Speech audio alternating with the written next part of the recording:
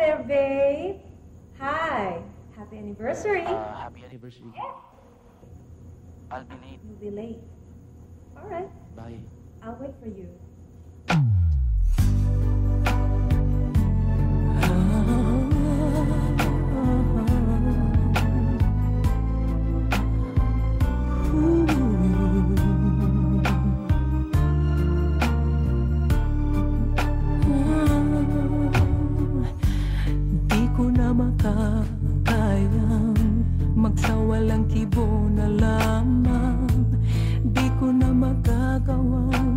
sasabihin pa sa'yo.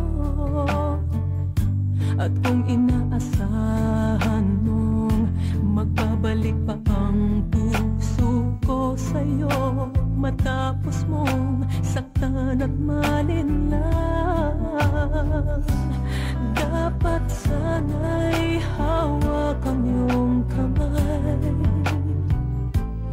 Kung nag-isip ka lang hindi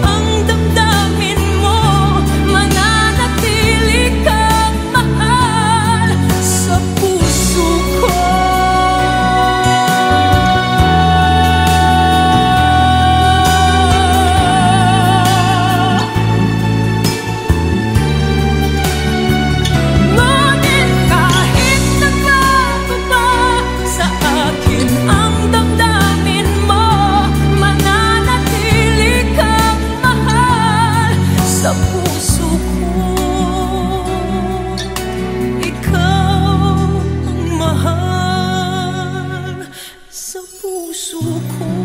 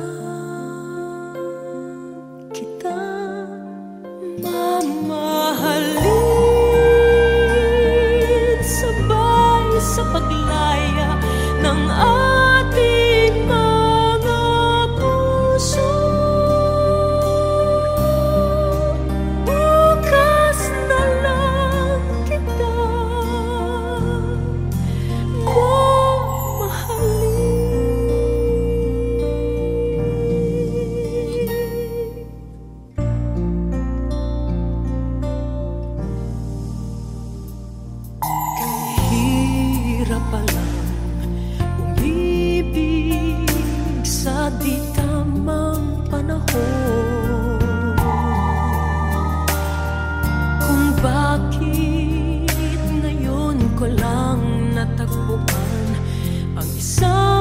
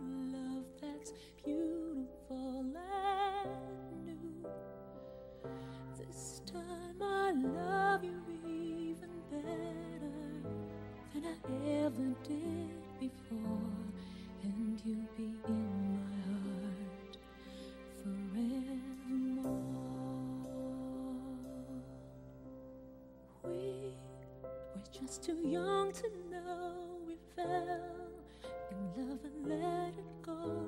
So easy to say the words goodbye, so hard to let.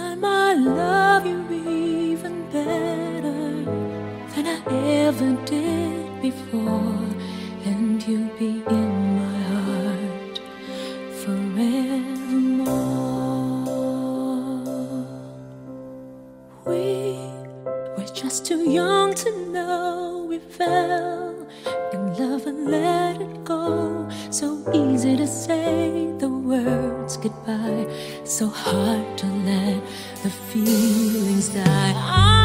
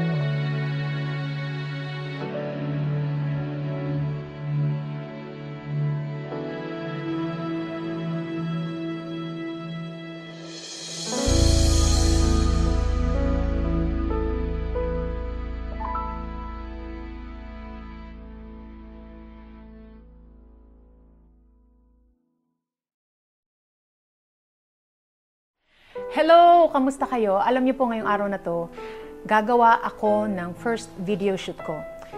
Actually po, medyo kakaiba itong ah, gagawin ko na ito. Sinabi kong kakaiba only because first time ko pong gagawin. Ah, may experience ko po kung paano mamuhay ang isang manganganta sa bangketa. So makikita po natin mamaya kung ang mga tao pong dumadaan ay titigil po para makinig o sila lang po ay dadaan dahil po syempre baka sila ay busy at kailangan na nilang marating ang kanilang mga paroroonan. So ito po ang kasuotan ko. Napakasimple. Ah, hindi ko alam kung tawag dito, kamisa de chino ata ito at simpleng scarf at ah, palda lang at syempre po flip-flops. Pero tingnan po natin kung anong mangyayari mamaya. So sana masamahan niyo po ako kung anong ang magaganap sa ating video shoot ng saan darating ang umaga.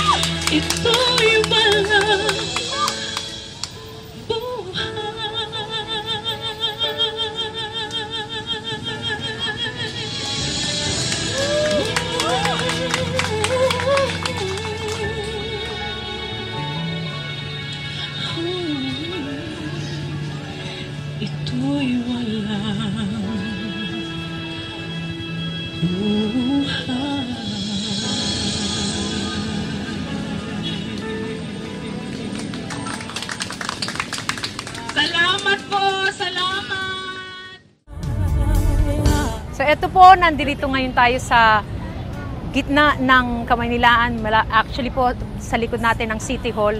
Kanina po, natunghayan ko po kung papaano magtrabaho sa bangketa. Actually po, kung paano po maging isang mga awit sa kalye.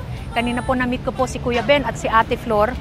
At ah, para sa akin, ito po ay isang kakaibang entablado na para mag-perform po. Yung dalawang mag-asawa eh hinahangaan ko po. Kanina natanong ko sa kanila na kung kailan sila nagsimula ah, kumanta sa bangketa. Sinabi ni Ate Flor, dalaga pa lang po siya. At hindi po biro ito, para hong pumapasok din sa opisina. Pero po, syempre, pag sa opisina, lahat po ng convenience na doon, aircon ang inyong kwarto. Pero po, si na Ate Flor at si Kuya Ben, eh, magmula umaga ay hang, at hanggang gabi ang kanilang pagkakanta sa bangketa. Para sa akin po, hindi po ito madali. Ah, kahit papano, wala pa po sa fraction ng kanilang ginagawa ang ah, na-experience ko kanina. Ah, napakasaglit lang nung kaninang kumanta ako ng tatlong kanta. At ah, na, mainit ang araw, um, marami pong dumadaan na sasakyan, mausok, maingay. Ah, hindi po biro na trabaho yon para sa kanila. But, but I was able to experience it and palagay ko it's not gonna be easy for for the rest of us na magkaroon ng ganong trabaho. So, ako'y nagpapasalamat dahil ah, nabigyan ako ng ganong ah, pagkakataon na ma-experience kung paano po magtrabaho ng katulad po ng trabaho ni Kuya Ben at saka ni Ate Flor. Kinanta ko po yung saan darating ang umaga, anak, at saka starting over again. Ah, ang nakakatuwa po doon, syempre, hindi naman po ah, maaring marec- ma-recognize ng tao kung sino yung kumakanta. So, marami pong ah, biglang tumayo doon at tumigil para makinig at manood sa pagtatanghal ko kanina. So, I will always uh, treasure this moment and uh, sana nga po uh, makarating yung mga inawit kong yon sa iba pang mga tao. So, let's see kung ano po ang maaari pa nating i-explore na experience sa susunod.